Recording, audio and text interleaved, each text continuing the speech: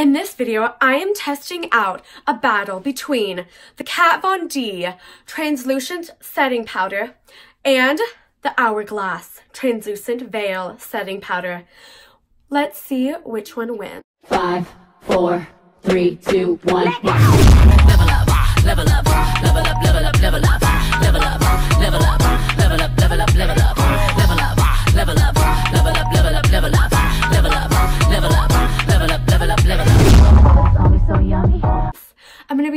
check-ins. The Hourglass Veil Setting Powder is more like, it's more a shimmery powder. I hope you guys can see, but um, this powder isn't as matte. This powder is has a little bit of shimmer, but when you set the face, you, it's not like you just put highlight on your face. Like it blends into the skin, but let me just swatch it for you guys. Let me kind of blend it, and hopefully you can see in the camera, it has this cool, it's has this really cool like um like shimmery um look to it. And so it's perfect for people with dry skin. Um it's not gonna like be matte and like drying. It's gonna act like the skin's gonna look shimmery and highlighted. But if you have oily skin you could totally like set with this too. Next we have the Kat Von D powder. I've never used this. Ooh, it's really soft. Softer than the hourglass so that's interesting. But I believe this is more like um more like a matte powder. Oh yeah, it blends right into the skin. Um, doesn't seem to have a tint to it. The Hourglass has kind of like a yellowish tint, but it'll like blend away. But this really dissolves into the skin. I'm impressed. It looks, it doesn't really have any shimmer. It doesn't look matte. So it might be a semi-matte. Hourglass is going to be on the left side, Kat Von D on the right side. Let's get started. So I actually wanted to show you the um, products before I apply them. I uh, went in with first the Hourglass Mineral Veil Primer um, which has SPF in it. I just wanted to see like what the combination would be with the Tatcha. But I did mostly this on my whole face and then this and the T-zone and stuff where my pores and lines are just to see what happens. Foundation and concealer. You guys see me talk about this in my, uh, my foundation video, I think. We're going in with the NARS Natural Long Radiant Longwear uh, Foundation and the Tarte Shape Tape. So I have my foundation on and looking so beat. I really built the covers. But um, I'm blending my concealer. Um, Because after I blend my concealer I want to set it. It'll be fine once we set it. But I wanted to show you guys because after I set, I made it, or after I blend my concealer, I immediately want to set it. So I'm going to first go in with Kat Von D because I've never used it. I'm going to go to the Kat Von D. I'm so excited because, um, oof, way too much. I'm going with the Kat Von D on the right side. I don't like to bake.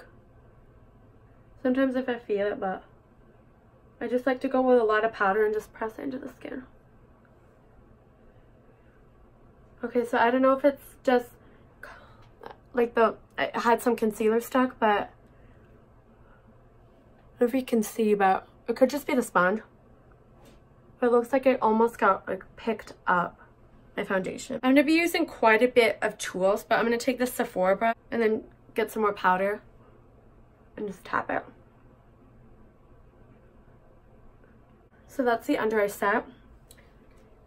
So let's set the other side with the hourglass. I like this packaging. And these are mini versions. I actually got the Kat Von D for like a gift, a birthday gift uh, from Sephora. But um, I kind of just want to use the same brush. I'm just to rub it on my um, arm any of the excess. And then I'll go into the Hourglass powders.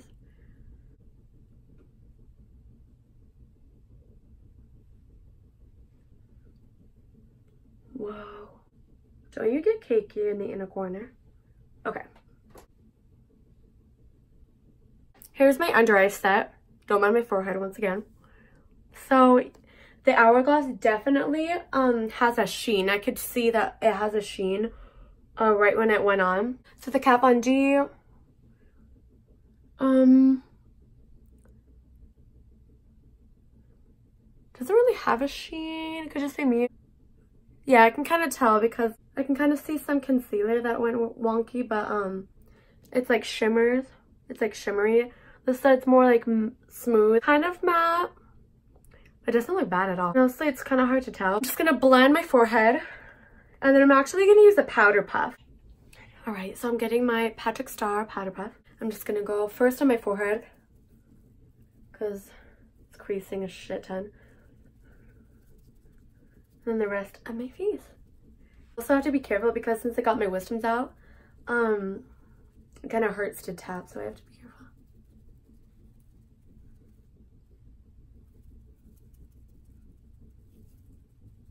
Trying to be careful to go like halfway. What I can also tell, because I have tried the hourglass, um, and what I can tell is that, um, it does, um, it's really lightweight, and if you have dry skin, it really just like smooths that over. But so far, it's setting really nice.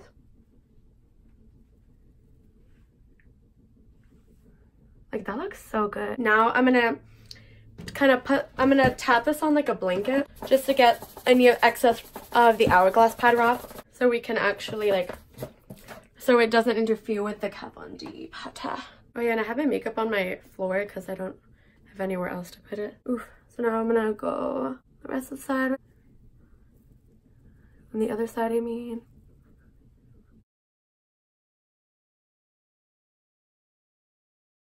Both sides are set with hourglass and the Kat Von D.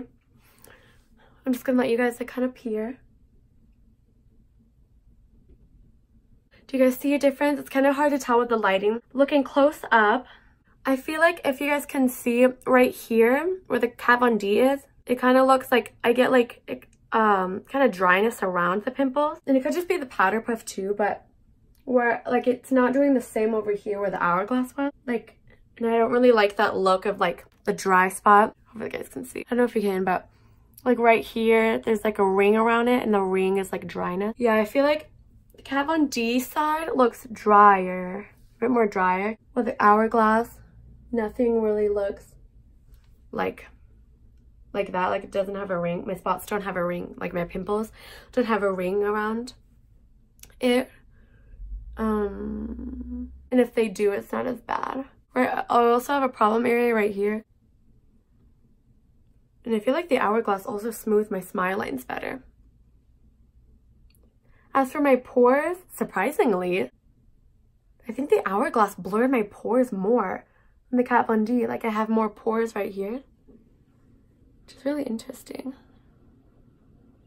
So, so far guys, between the two powders, I really like, um, I'm liking the Hourglass better than, um, the Kat Von D so far. And I did pair the Hourglass between the Maybelline powder. Let me know if you guys want to see Hourglass between Maybelline and versus Drugstore because I really like the Maybelline. I feel like that wins. But between these two powders, the Hourglass is definitely winning. So I'm going to quickly show you guys um, the, my cheeks and stuff, my uh, cheek makeup and then um, I'll have uh, check-ins based on the time, so stay tuned. So, to bronze up the skin, I'm going to go in with my Anastasia Contour Kit, which I already told you guys this, but I got this at TJ Maxx, with this Ulta Beauty brush. Now, the story behind this brush and some other products I have is that at the prom dress place I told you guys in the previous video, I got a free prom dress and accessory. They actually, like, they give you prizes. Um, like you could win prizes if they pulled your number.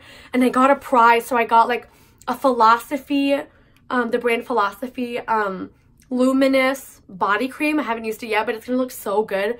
My body, I think, is just gonna shine. Like I won that and I won some more makeup, including this brush.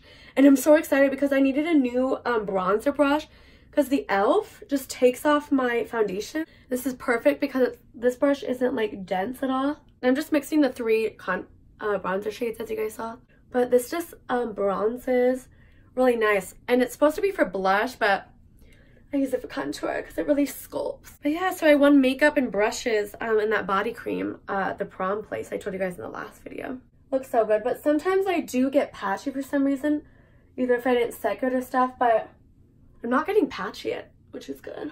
Oh, but I've been watching RuPaul's Drag Race. By the time you guys seen this video, I think I'm going to be done, but um, with the the um, this season, season four All Stars. But it's so good. I just love the transformation. They all are stunning. But um, for my under eyes, I just realized seems like the hourglass is creasing more uh, under eyes, but I found the perfect way to nose contour. I have this like brush. It's almost like an angled brush, but it fits perfectly for my nose, guys. And I've been getting a perfect nose contour.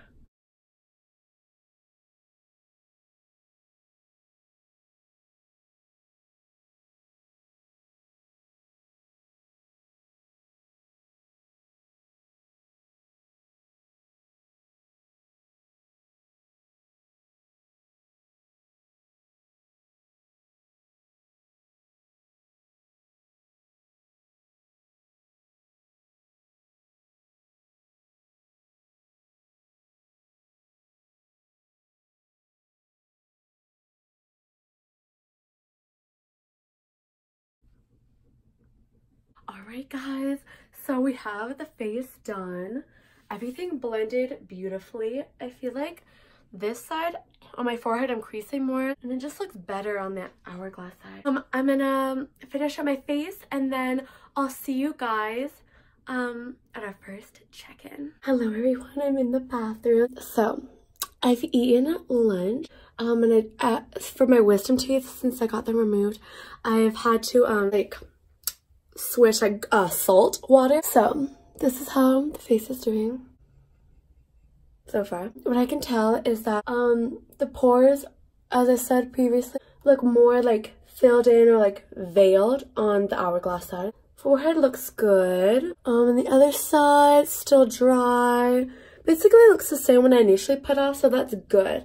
Except, on the chin, both sides came off, but because like I had to do salt water and stuff. Um, but both look still really good. Look how they did before. One thing I kind of noticed is the Kat D might have more coverage, but it looks more dry and stuff. So this is our first check-in, about four and a half hours, well no, about four hours um, after the initial use of the products. Stay tuned for a second check-in. Hey queens, how are ya? We are at like the mm, almost nine hour, eight and a half-ish mark of having this face on. So the differences are my nose has worn off a little bit. Um, let me flip off one more light to really see. I'm gonna turn orange in a second. Ooh, look at this mascara flakes. Ooh. A lot has worn off on my chin as still the pores look more worse on this side and this side.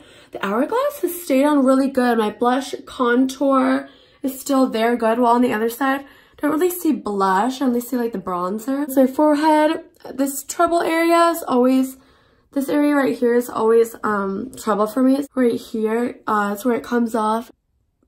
It looks like the Kat Von D.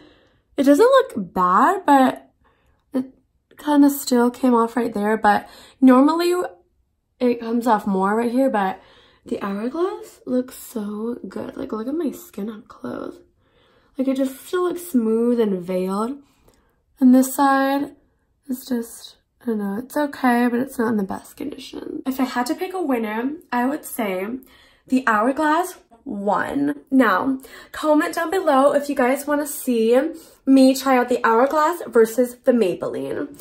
And yeah, guys, I hope you guys enjoyed. If you guys enjoyed this video, please make sure you subscribe to my channel, like this video.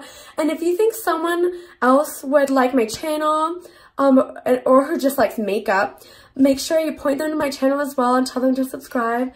Thank you guys for watching, and I'll see you guys in the next one. Bye. Yes, Hunty, I did have an outfit change.